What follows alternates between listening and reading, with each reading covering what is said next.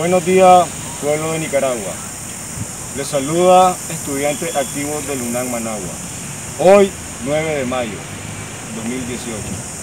Los estudiantes que estamos aquí queremos hacerle un llamado a la población de Nicaragua de que por favor no crean en mala información que se ha difundido en los últimos momentos. Los estudiantes que estamos en los portones firmemente estamos defendiendo nuestra posición.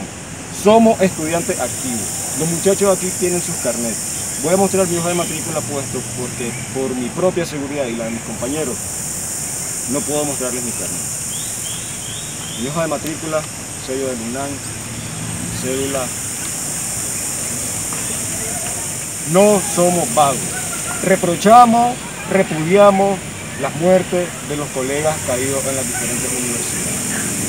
Le mandamos un fraternal abrazo a los padres de estos combatientes que demostraron tener valor Muchas gracias por criar personas tan valiosas. Nuestros puntos aquí son los siguientes. Los universitarios en los portones no nos vamos a retirar hasta que las elecciones de UNED sean convocadas. Vamos a estar convocando a organismos internacionales, si es posible, de derechos humanos para que vengan a, observar nuestras elecciones. Otra cosa, eh, con respecto a las clases, nosotros somos los primeros interesados en que se reanuden las clases. Somos estudiantes activos, estamos preocupados por nuestro semestre, las clases están eh, tratando de ser reactivadas lo más antes posible, con la mayor brevedad posible. Por favor, no crean de que nosotros estamos en contra de que recibamos clases. No, estamos a favor de las clases.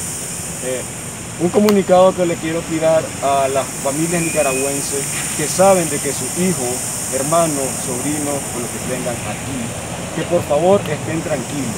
Hasta el momento no tenemos incidentes vandales. Toda la gente de aquí de Lunán está bien. Por favor a la familia nicaragüense sepan, sus hijos están bien.